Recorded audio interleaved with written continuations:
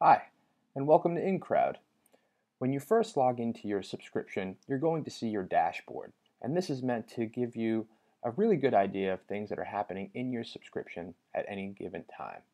Up at the top, you can manage your surveys, for instance, things that are in field, drafts you're working on, and surveys that have recently closed. Your activity feed will help you get a sense of when invites are going out, when surveys are opening and closing.